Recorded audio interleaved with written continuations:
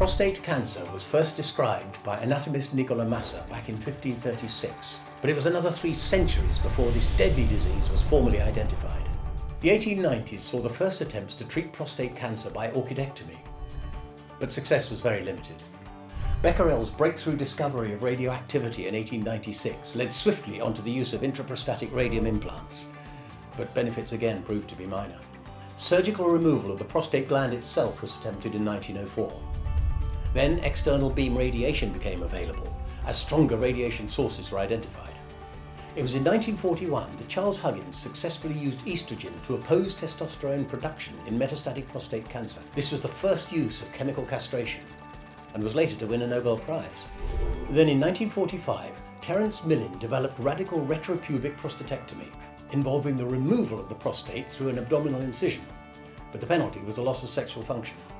In 1960, Rubin Flocks was the first to identify antigens specific to the prostate, in addition to those specific to humans, and in 1970, Richard Ablin was the first to discover prostate-specific antigen.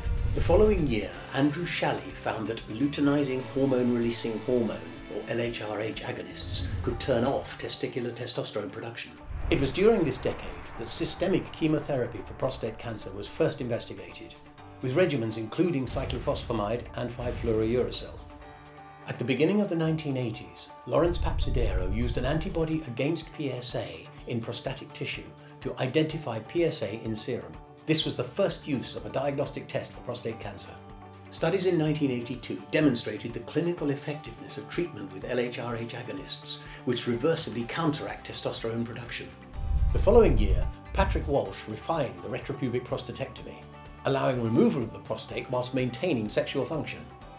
1987 was the year of Thomas Stamey's landmark study.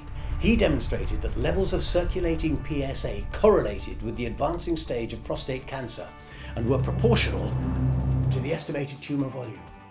Advancing into the 90s, a watch and wait approach was introduced for men with early stage prostate cancer, consisting of frequent examinations and PSA testing, which allowed patients most likely to benefit from treatment to be identified. In addition, laparoscopic prostatectomy techniques were developed, which reduced surgical side effects and shortened recovery time.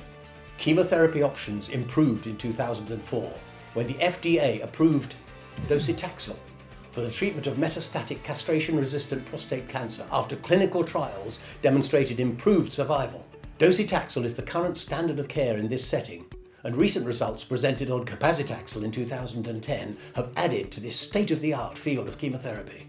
Since 1970, progress in diagnosis and treatment of prostate cancer has improved age-standardized five-year survival rates. But importantly, diagnostic improvements and an aging population have caused incidence rates across Europe to soar. Today, androgen deprivation therapy is used to treat prostate cancer, either through surgical or medical castration, which includes the use of LHRH analogues and antiandrogens. Hormonal therapy remains key, but after an initial response, most patients will progress to a castration-resistant phase, where treatment options are limited. Current research efforts are focused on additional treatment options and new therapeutic strategies, such as androgen biosynthesis inhibition for men with metastatic castration-resistant prostate cancer. During 2010 and 2011, important new treatment options have become available with the FDA approval of Sipuleucel T and the FDA and EMA approvals of cabazitaxel, denosumab and abiraterone. And now, it's time to look to the future.